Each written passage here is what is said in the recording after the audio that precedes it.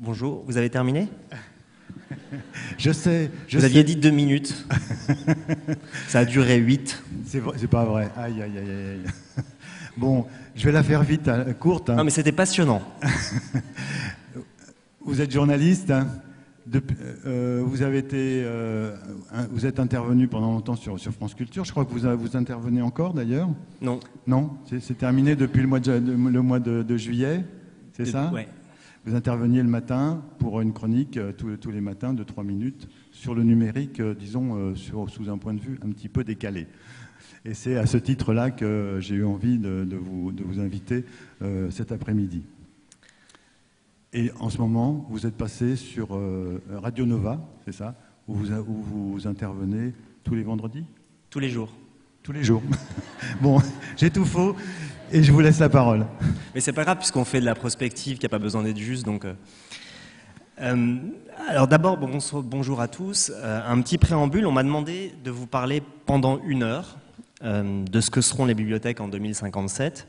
Alors comme j'ai décidé de suivre très scrupuleusement ces instructions et donc de vous parler des bibliothèques depuis 2057, euh, parce que n'étant ni bibliothécaire ni futurologue, j'ai, vous l'imaginez, une idée assez précise de tout ça.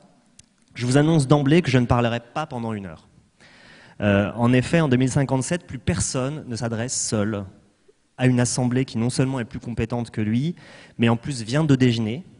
Euh, ce qui vous permet néanmoins d'être d'ores et déjà rassuré sur un point. En 2057, on continuera de déjeuner. Donc je vous détends tout de suite. D'ici une trentaine de minutes, vous pourrez euh, vous vouer à des activités plus sérieuses que d'écouter une lecture comme celle-ci, un peu ennuyeuse. Alors pourquoi ennuyeuse? Euh, Parce que j'ai décidé de ne pas vous imposer un délire euh, futuriste abstrait, mais de vous faire la lecture d'un règlement intérieur d'une bibliothèque en 2057. Euh, la personne qui m'a soufflé cette idée est présente dans cette salle, mais je tairai son nom pour que vous ne la lynchiez pas dans une demi-heure. Alors, règlement intérieur à l'usage des bibliothèques des régions unies d'Europe. Alors, juste, je me permets une première parenthèse pour expliquer que puisque nous sommes en 2057, euh, le cadre politique général a un peu changé. Euh, suite à un vaste mouvement indépendantiste qui a touché l'Europe ces dernières décennies, et on date d'ailleurs le vrai début de ce mouvement à l'indépendance de la Catalogne euh, espagnole à la fin de l'année 2017. L'Union européenne s'est transformée en une vaste fédération de régions autonomes, les États étant réduits à un rôle assez folklorique. Euh, on nota la résistance désespérée du président français Emmanuel Macron à ce processus. Euh, il dut céder après avoir euh, organisé un référendum demandant au peuple français de lui donner le titre d'empereur.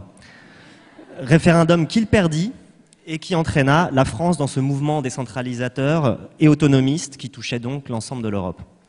Néanmoins, cette euh, balkanisation territoriale n'empêche pas la nouvelle structure suprarégionale, baptisée donc les régions unies d'Europe, de poursuivre euh, une ambition normalisatrice euh, de sa prédécesseur, et donc d'édicter des règles censées être valables depuis l'Algarve, sud-ouest du Portugal, jusqu'à la Transnistrie, aux confins de la Moldavie, puisque la Transnistrie euh, son existence a enfin été reconnue et elle a été intégrée euh, à l'Europe, aux grandes dames de la Russie, mais je suis certain que ces considérations géopolitiques ne vous passionnent pas.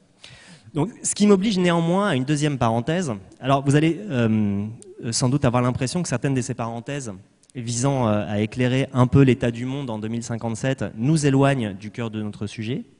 En fait, elles obéissent à une conviction. Ce que sont les bibliothèques et les documents qu'elles contiennent, la manière dont on consulte ces documents, les raisons pour lesquelles on les consulte ne sont pas séparables de cet état du monde plus général. Et il faut euh, aussi bien prendre en considération l'état géopolitique que les changements les plus matériels qui ont affecté nos vies pour comprendre ce qui est arrivé au document, quelle que soit sa forme.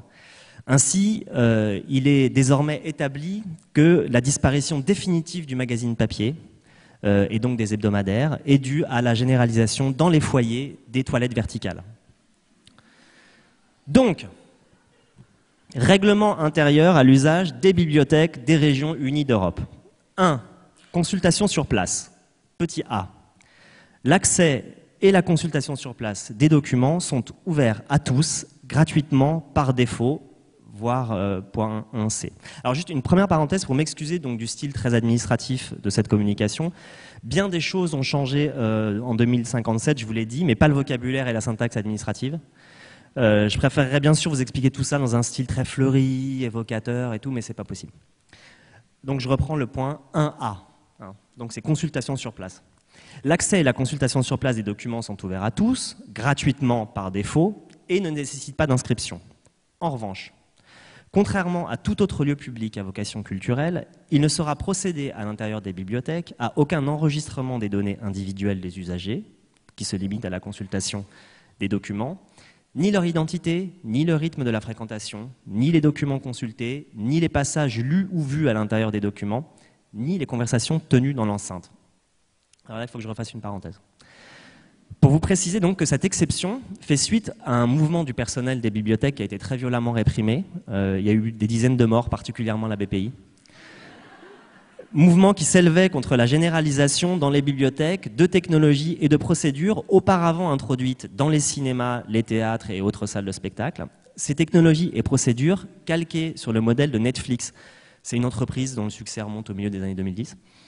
Donc, euh, euh, visaient ces technologies donc, et procédures à en savoir le plus possible sur les usagers des bibliothèques à des fins de recommandation. Mais, suite à la découverte par un jeune ingénieur système de la Bibliothèque régionale d'Île-de-France anciennement Bibliothèque nationale de France, que ces données étaient aussi consultées par les services de renseignement dans une visée de lutte contre le terrorisme, les bibliothécaires européens obtinrent, au péril de leur vie, je le rappelle, une exception enviée. Ainsi, les bibliothèques sont-elles aujourd'hui les seuls espaces culturels que l'on peut fréquenter de manière anonyme Contrairement au cinéma, au théâtre, aux salles de concert, mais aussi à la plupart des lieux publics, elles sont donc dépourvues de caméras, de censeurs et de capteurs de données personnelles. Par ailleurs, elles sont équipées de brouilleurs qui évitent la géolocalisation des êtres vivants y pénétrants, qu'ils soient humains ou non humains, et qui pourraient être le fait des outils numériques qu'ils transportent et des, puces sous-cutanées. On considère que la fréquence en croissance des bibliothèques résulte en partie de cette exception. Ce qui m'amène à une seconde parenthèse. Euh, pardon de les multiplier, mais vraiment j'ai peur que si je m'en tiens à la lecture brute de ce règlement des bibliothèques intérieures, enfin règlement intérieur des bibliothèques des régions unies d'Europe en 2057, sans autre précision, vous soyez un peu perdu. Or, euh, il s'agit de votre avenir. Hein. Et les progrès de la technologie médicale ayant fait en sorte que bien que pour la plupart d'entre vous, vous soyez déjà Kakoshim aujourd'hui, il est fort probable que vous soyez encore assez vivace pour travailler en 2057.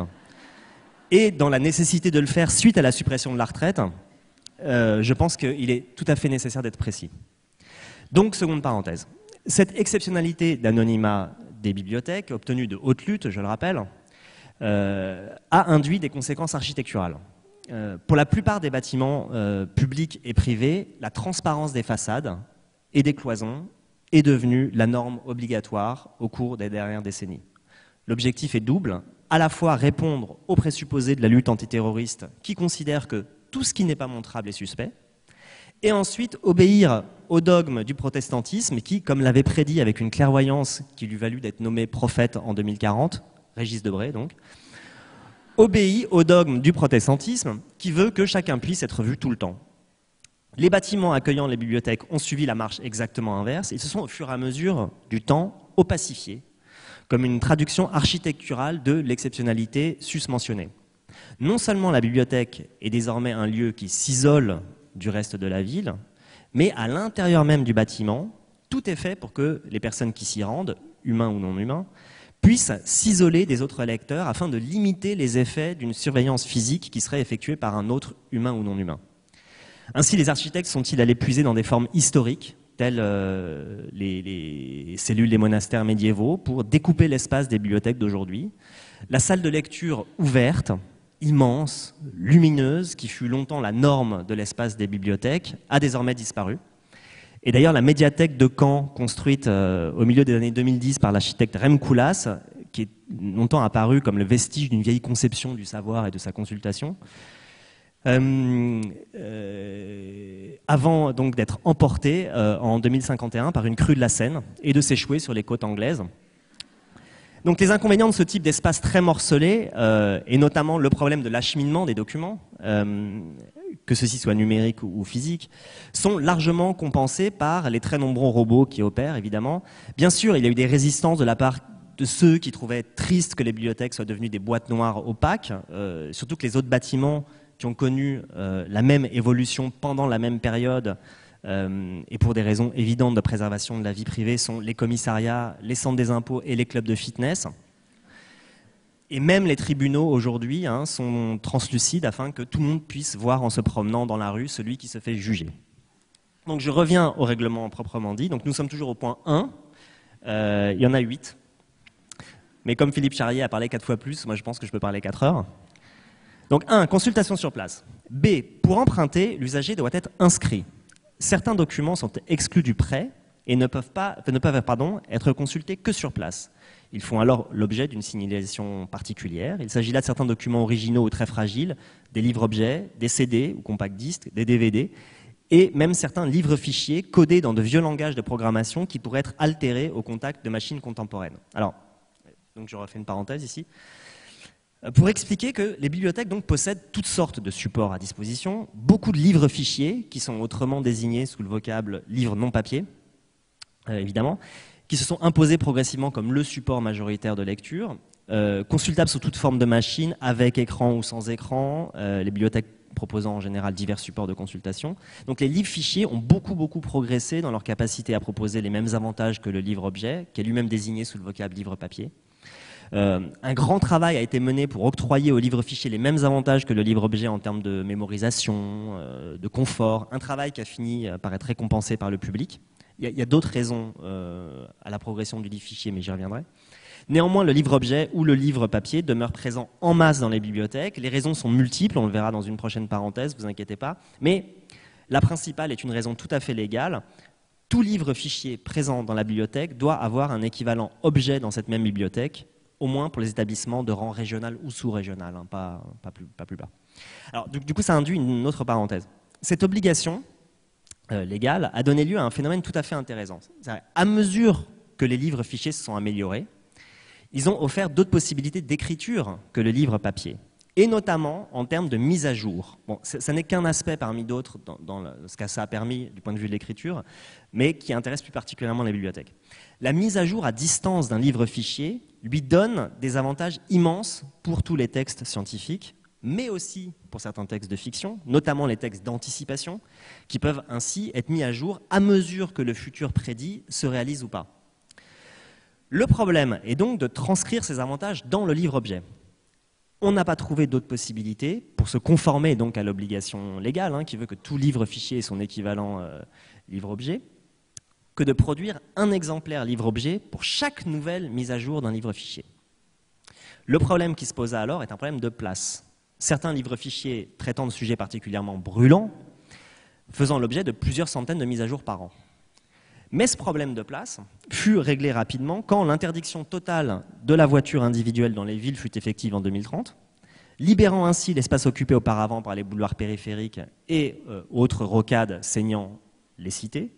Ainsi, il fut décidé que des pans entiers de ces espaces seraient consacrés à l'accueil des livres-objets. On peut dire qu'aujourd'hui, la plupart des villes d'Europe sont donc littéralement entourées de livres-objets, ce qui est une nouveauté historique. Bien sûr, ceci ne suit pas sans heurts, notamment du fait de la pression immobilière qui a terriblement augmenté dans les villes d'Europe ces dernières décennies, euh, certains considérant que le périphérique et autres rocades auraient dû être prioritairement habités, mais il était difficile d'argumenter contre le savoir, et donc l'association du DAL, droit au logement, a dû s'incliner face à l'ONG interrégionale DAL, droit au livre. Alors, je suis toujours dans le petit 1, donc consultation sur place. Petit c.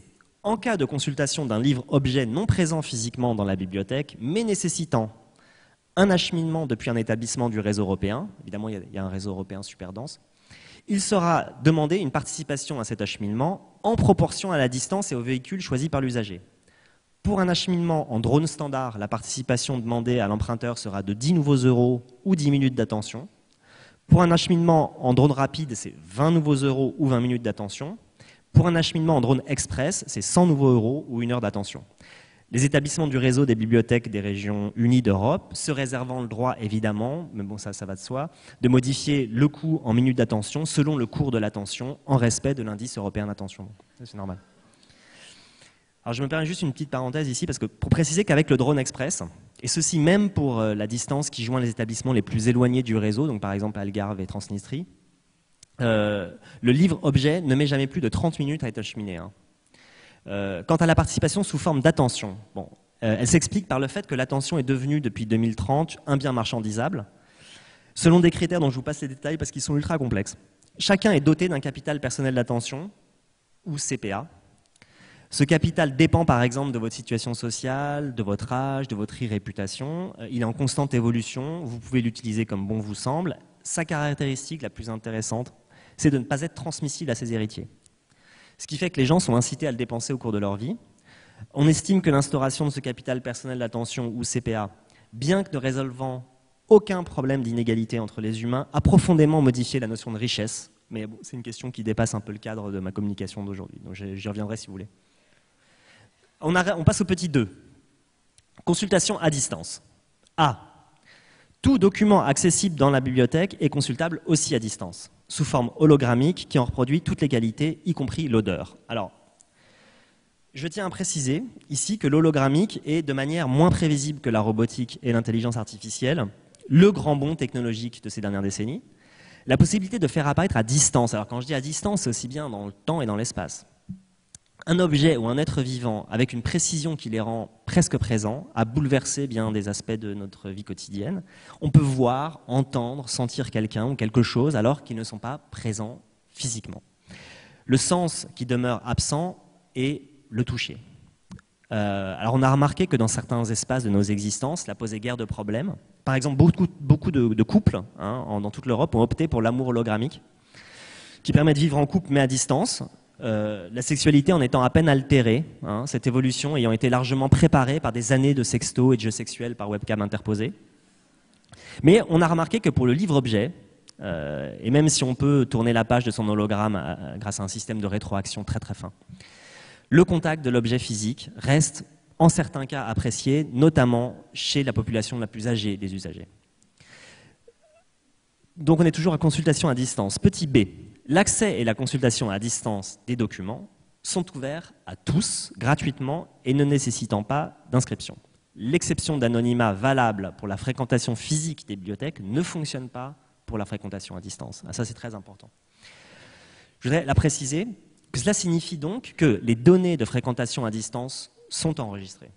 Alors, cet écart, cette différence fondamentale entre fréquentation physique et fréquentation à distance des documents a fait l'objet de disputes extrêmement violentes au sein même des personnels des bibliothèques d'Europe. Il y a eu plusieurs morts, dont une dizaine à la BPI encore. Les uns, considérant que la consultation et l'accès à distance devaient obéir exactement aux mêmes règles que la consultation et l'accès sur place, les autres craignant que les bibliothèques ne soient plus nécessaires en tant que lieu physique si elles n'offraient pas quelques avantages en plus, autres que le toucher direct du document. La dispute, très très violente encore, je vous le rappelle, fut tranchée par l'enregistrement des données de fréquentation à distance et pour des raisons très très pragmatiques que je vais vous donner. D'abord, à partir du moment où la fréquentation à distance nécessite pour la projection hologrammique des outils techniques personnalisés, lunettes, vêtements, puces sous-cutanées, dents connectées ou un plan cérébral, il est très difficile de garantir l'anonymat d'un usager à distance des bibliothèques. Ensuite, les outils de projection hologrammique s'étant multipliés à cause de leur coût de plus en plus bas et de leur consommation énergétique presque négligeable, il fallait éviter qu'un même usager ne consulte à distance trop de documents et pendant trop longtemps, ce qui pouvait laisser craindre une activité délictueuse, comme par exemple la bibliothèque clandestine, c'est-à-dire une bibliothèque qui ne contient pas de documents physiques, mais qui offre les mêmes conditions de consultation et d'accès que les bibliothèques physiques, à savoir l'anonymat. Ensuite, depuis la réduction drastique des financements publics des bibliothèques, qui a été entamée en 2021 quand l'État français avait encore un budget national de la culture, donc euh, cette diminution drastique a nécessité pour les bibliothèques de trouver des modes de financement propres. La vente des données de fréquentation à distance a fourni une source de revenus substantiels savoir ce que les gens lisent, cherchent, regardent, annotent, eh bien, ça intéresse des types très variés d'entreprises qui cherchent des données qualitatives afin principalement de nourrir les intelligences artificielles de rang supérieur. Donc je parle là des intelligences artificielles qui enseignent à l'université. Bien sûr, cette braderie des données personnelles a provoqué un dilemme moral, même chez les bibliothécaires les plus soucieux de préservation de la bibliothèque en tant que lieu physique. Mais tout le monde se tait devant les bénéfices que rapporte cette marchandisation aux bibliothèques. Bravo, super. Euh, voire, ça c'est la, contrepartie, voire certains favorisent carrément des pratiques illégales. Un réseau clandestin fait par exemple circuler des programmes anonymisants pour la consultation à distance de livres-objets sous forme hologrammique, et on soupçonne qu'il est euh, composé de quelques professionnels des bibliothèques, mais aucune preuve n'a pu être établie. Petit 3. Inscription à titre individuel. A. Pour s'inscrire afin de pouvoir emprunter, l'usager n'est tenu de présenter aucun autre document officiel que lui-même. Il sera immédiatement identifié et enregistré au fichier européen des emprunteurs de bibliothèques.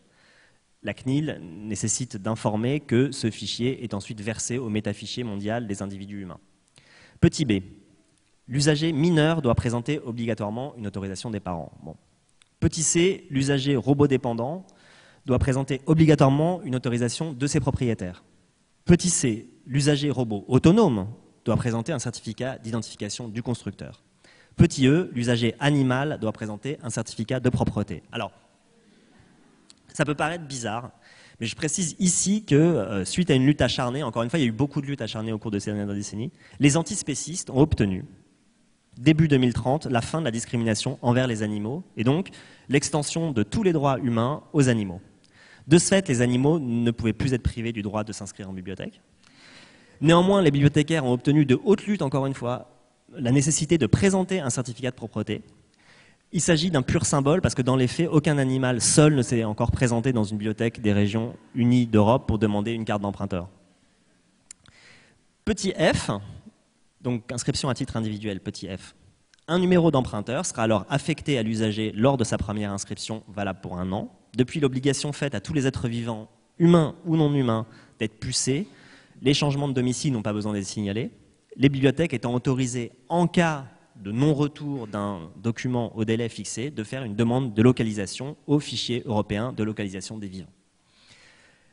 On en arrive au 4, prêt à domicile. A. Le prêt est consenti à titre individuel et sous la responsabilité de l'emprunteur. Dans le cas des robots autonomes, la responsabilité incombe évidemment au constructeur. Petit b, le nombre de documents empruntables par support et la durée des prêts sont précisés lors de l'inscription et figurent en annexe de ce règlement. Alors, je fais encore une parenthèse juste pour vous préciser que je ne ferai pas la lecture des annexes de ce règlement. La lecture d'un règlement, c'est déjà une expérience euh, pénible. Alors la lecture des annexes, c'est à peine supportable, surtout après un déjeuner, je le répète. Et d'ailleurs, je vous trouve particulièrement vif vous avez du mal manger. Néanmoins, si vraiment cela vous intéresse, je tiens à votre disposition le nombre de documents empruntables par support et la durée des prêts pour chacune des bibliothèques régionales ou surrégionales des régions, mais ça je le, je le donnerai.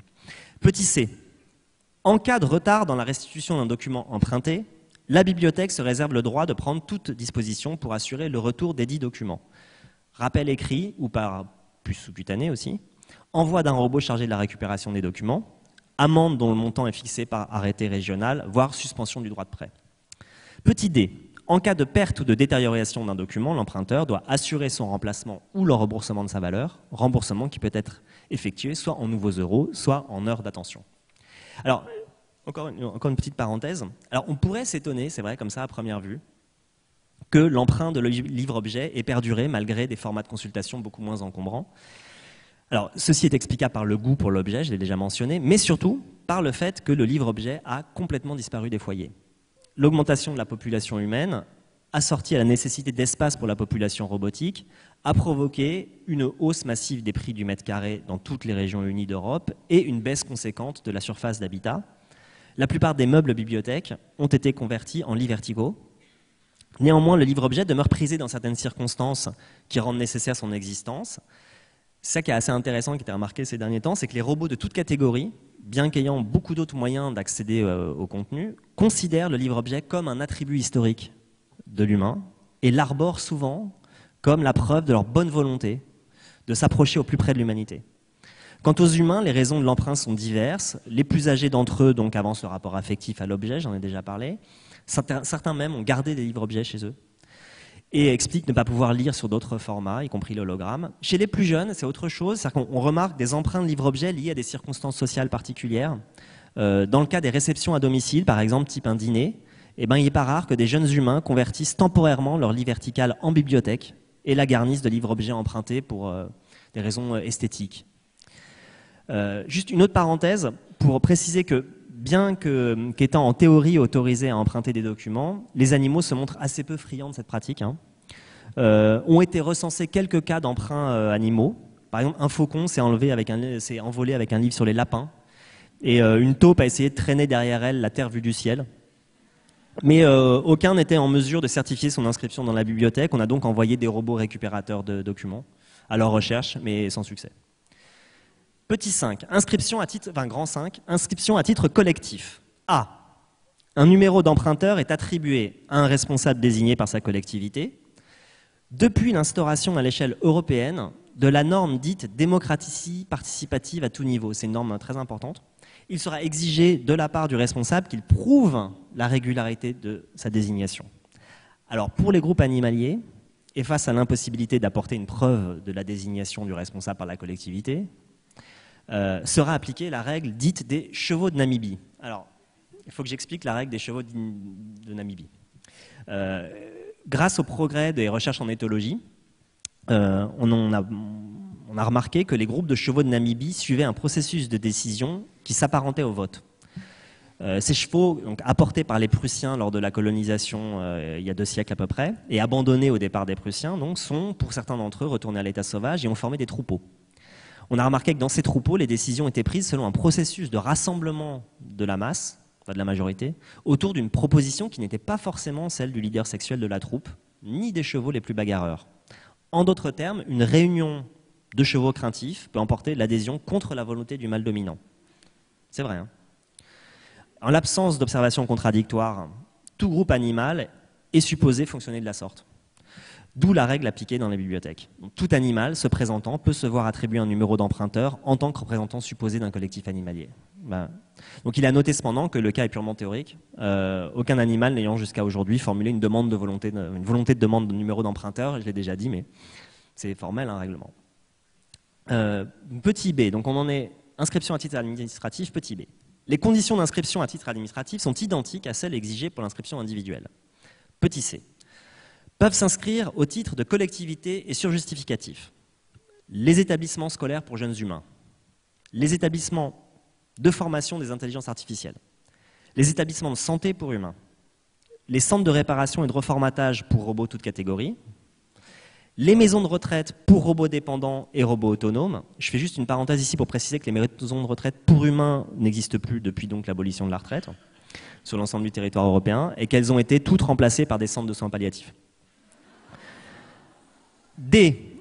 Peuvent s'inscrire au titre de collectivité et sur justificatif les clubs du troisième âge, les clubs du quatrième âge, les clubs du cinquième âge, les clubs du sixième âge. Néanmoins, les clubs du sixième âge n'ont pas le droit d'emprunter des livres objets, trop de documents ayant été restitués enduits de bave. C, enfin 6, pardon, droit attaché aux documents. Chaque bibliothèque respecte la législation en vigueur sur la reproduction des documents et celle relative au droit d'auteur. Aussi, elle dégage sa responsabilité de toute infraction à la règle suivante, que je cite. Les lectures, consultations, auditions visionnements de documents sont exclusivement réservés à un usage personnel dans le cadre familial ou privé, cercle de famille. Alors évidemment, ici, il faut faire bien attention à donner aux mots le sens qu'ils ont en 2057. Ainsi, la notion de famille. Elle a connu ces dernières décennies une extension de ses contours. La famille désignant évidemment les parents de sang, mais aussi les parents par alliance, beaux-parents, enfants des beaux-parents, petits-enfants des beaux-parents, mais aussi tous les parents de sang des beaux-parents ainsi que des demi-frères et des demi-sœurs. Ce à quoi il faut ajouter les parents de sang des vrais concepteurs dans le cas des PMA, procréation médicalement assistée, et des GPA, gestation pour autrui. Alors ainsi, prenons le cas d'un enfant conçu en GPA. Euh, issu par exemple d'une femme qui a déjà eu trois enfants avec trois hommes différents, ayant eux-mêmes eu trois enfants avec trois femmes différentes, et qui se voit élever cet enfant par un couple d'hommes ayant chacun eu déjà trois enfants avec trois hommes différents conçus par GPA. Ces deux hommes ayant eu eux-mêmes des frères et sœurs issus de parents divorcés et remariés, avec des gens ayant eu eux-mêmes des enfants avec d'autres partenaires, un tel enfant aurait donc un cercle familial comptant approximativement 1500 personnes. Ce constat a été pris en considération par les militants en tripropriété intellectuelle qui ont fini par comprendre que plutôt que de lutter contre les lobbies d'auteurs très organisés et qui ont recours à des arguments super forts du genre c'est dur la vie des auteurs, etc., il fallait mieux travailler à l'extension de la notion de famille et rendre ainsi presque impossible aux autorités chargées de faire respecter les droits d'auteur de prouver que la personne à qui on prêtait ou faisait visionner un document n'était pas un membre de la famille. Ainsi, la complexité croissante des arbres généalogiques mit-elle fin de manière presque naturelle à la propriété intellectuelle, celle-ci devenant un simple principe formel. 7. Comportement des usagers. A les lecteurs sont tenus de respecter le calme à l'intérieur des locaux afin de respecter la tranquillité et le travail d'autrui. Petit b. Les lecteurs sont invités à respecter le calme lors de la consultation à distance. Alors, ça c'est important parce que, comme on l'a dit plus haut, la consultation à distance fait l'objet d'un enregistrement de données multiples, dont celle, bien évidemment, des conditions même de la consultation et du comportement de l'usager à distance. Les bibliothécaires savent donc dans quelles conditions sont consultés les documents à distance ils ont réussi à imposer cette règle du calme euh, dans la consultation à distance sur un prétexte de non-discrimination. Le discours est à peu près le suivant, il n'y a pas de raison que les usagers à distance ne bénéficient pas, à partir du moment où il est possible de les garantir, de conditions aussi bonnes que les usagers sur place. En fait, évidemment, derrière ce prétexte de non-discrimination se cachait une vision de la lecture presque romantique, comme une rencontre quasi religieuse entre euh, le document et celui qu'il consulte, outre que cela ne tient pas compte que la moitié des usagers de la consultation à distance, enfin, euh, pardon, outre que cela ne tient pas compte du plaisir intense qu'il peut y avoir à lire ou consulter un document dans le bruit et l'agitation, cela ne tient pas compte que la moitié des usagers de la consultation à distance, comme de la consultation sur place d'ailleurs, selon les statistiques de fréquentation, sont des robots qui n'en ont rien à faire de l'agitation et du bruit. Petit c, il est interdit de fumer, de manger, d'utiliser un téléphone portable dans les locaux de la bibliothèque, sauf animation expressément organisée par les bibliothécaires. La puce sous-cutanée est autorisée, mais pour toute activité ne requérant pas d'échange à haute voix avec elle. évidemment, on a le droit d'utiliser sa pousse euh, sous-cutanée pour toute activité non bruyante, pour échanger par la pensée, faire des enregistrements dans la mémoire extensive et tout ça. Mais juste, je fais ici une parenthèse pour préciser que la mention des téléphones portables hein, dans ce paragraphe peut passer pour une étrangeté. Ceci ayant été remplacé par la puce sous-cutanée donc au milieu des années 2030 et de, de manière très massive, mais sans doute c'est l'effet d'un copier-coller avec une version très très ancienne de ce règlement. Petit d, les enfants sont dans les locaux sous la responsabilité de leurs parents. Le personnel de la bibliothèque les accueille, les conseille, mais ne peut en aucun cas les garder. Petit e, les robots. Alors ça c'est marrant que vous rigoliez parce que c'est vraiment un copier-coller d'un règlement de bibliothèque intérieur. Les robots dépendants sont dans les locaux sous la responsabilité de leurs propriétaires. Le personnel de la bibliothèque les accueille, les conseille, mais ne peut en aucun cas les garder. Il est interdit, ça c'est petit f, il est interdit de frapper ou de s'adresser de manière désobligeante au personnel non humain des bibliothèques. Alors, je, donc je fais encore une parenthèse pour préciser que suite au recours massif à un personnel non humain pour s'occuper des bibliothèques, il a été possible de les ouvrir 24 heures sur 24 et 7 jours sur 7 les robots étant moins regardants sur les conditions de travail et la nécessité d'avoir une vie de famille. L'élargissement des horaires d'ouverture fut rendu nécessaire par la diminution du temps de sommeil chez l'humain, qui est passé à 4h30 par adulte en moyenne, par l'augmentation aussi du temps de travail, le temps légal de travail étant passé à 47 heures par semaine, ainsi que par la réduction des jours de vacances et la fin des jours chômés. Pour le dire autrement, c'est parce que les gens dorment peu et travaillent tout le temps que les bibliothèques ont été ouvertes massivement. Néanmoins, à certaines heures de la nuit, les robots sont seuls en charge des publics, Or, comme on le sait, l'attitude des lecteurs humains vis-à-vis du personnel robot n'est pas toujours très civile et aboutit à des actes parfois répréhensibles.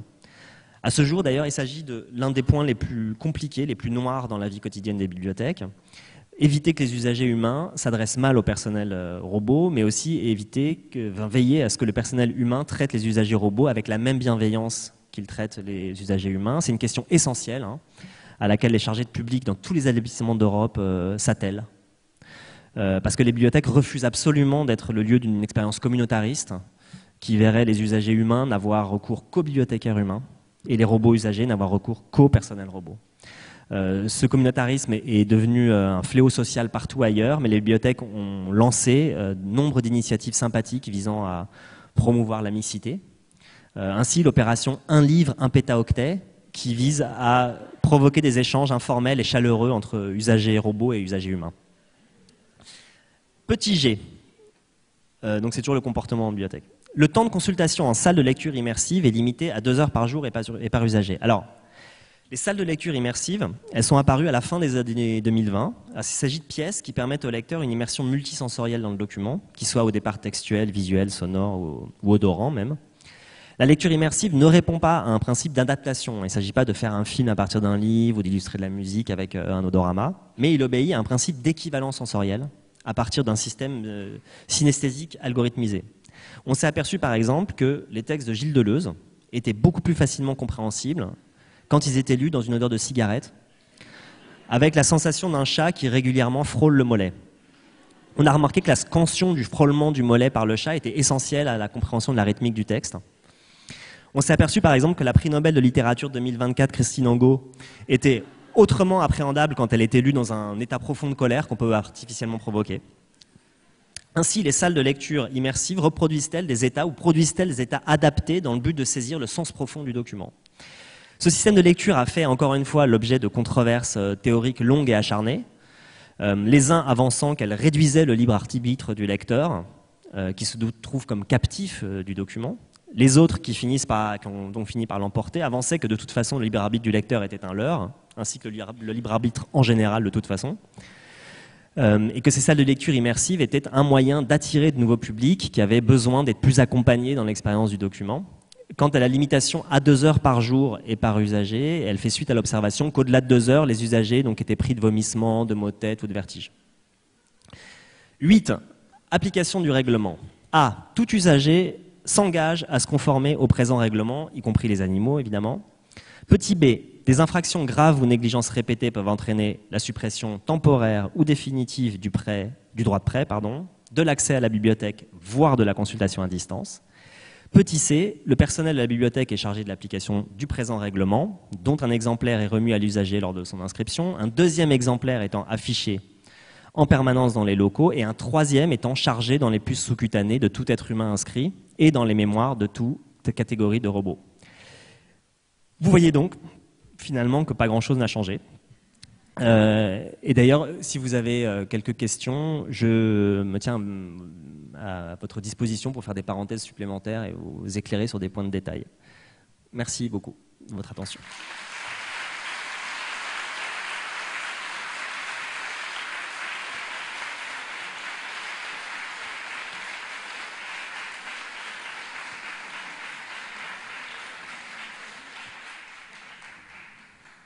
Christine a une question. C'était une blague, les questions. Là, non, mais non, non, non, ça va pas être une blague. Plusieurs fois dans votre intervention, vous nous parlez de 2030 ou la fin de 2020. Qu'est-ce qui se passe en 2030 euh... Alors, euh, je sais pas. je suis fatigué. non, euh, bah, euh, je sais pas, c'est trop compliqué. Enfin, je peux pas résumer comme ça 20 euh, ans d'histoire. non mais j'ai déjà essayé d'expliquer super clairement l'établissement des régions unies d'Europe, ce qui n'est pas facile. parce que c'est quand même plein plein de mouvements régionaux qui sont vraiment qui ont des histoires vraiment très particulières. C'est pas pareil la Catalogne, la Corse, la Transnistrie, la Moldavie par exemple qui a une histoire très très folle.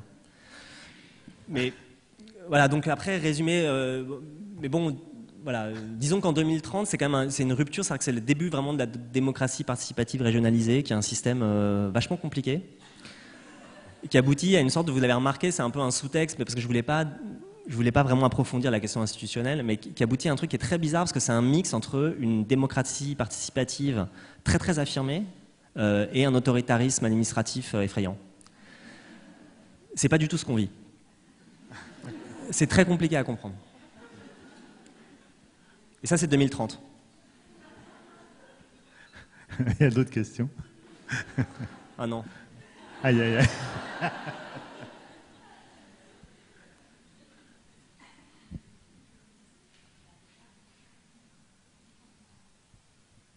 Oui, je voulais pas faire une pause? Non, non, non.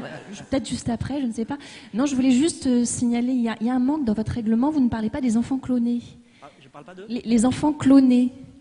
Ah. Oui, bah, parce qu'ils ont les mêmes droits que les enfants non clonés. C'est bizarre parce que vous supposez une discrimination que je trouve un peu tendancieuse.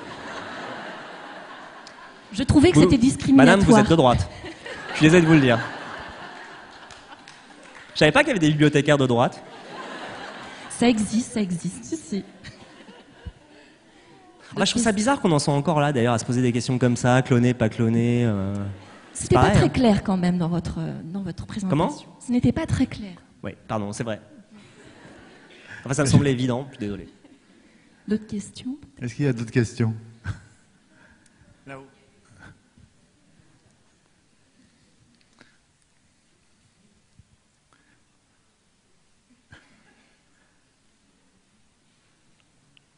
Hein? Oui. Euh, vous avez assez peu évoqué dans votre intervention l'évolution euh, de la lecture, de ce que ça représente euh, en, capacité d'immersion dans l'imaginaire, et puis le rapport avec les auteurs aussi. Vous n'en avez pas beaucoup parlé. comment la bibliothèque gère ça? J'ai pas entendu votre question, mais comme il est 58, je propose que vous fassiez une petite pause. En fait, il y a neuf pitchs derrière, vous savez, donc euh, j'imagine que quelqu'un en a parlé, non? Ou ça vous avez pas, non? Thierry, euh, Oscar, vous n'avez pas, non? Alors. Euh, donc, il y avait la, relation avec les auteurs? On va te laisser trois quarts d'heure pour répondre. Pardon? Trois quarts d'heure pour répondre. ouais, c'est. Donc il y avait la relation avec les auteurs et la deuxième c'était? Ah ouais. Vous trouvez ça vraiment important dans le cadre d'une réflexion sur les bibliothèques? Ah, Je sais pas, moi ça me semble ultra secondaire. Euh. Je suis désolé là, vraiment ça. Une autre question. Je sais pas, je viens peut-être à votre secours. Ça doit pas trop apparaître dans le règlement, ça. Ah oui, vous avez exactement, madame. voilà. voilà. Mais c'est vrai, pourquoi C'est super totalitaire votre truc. Vous aussi, vous êtes de droite en fait. Pourquoi vous voulez qu'on réglemente euh, les pratiques de lecture et tout ça? Ça va pas? C'est fou.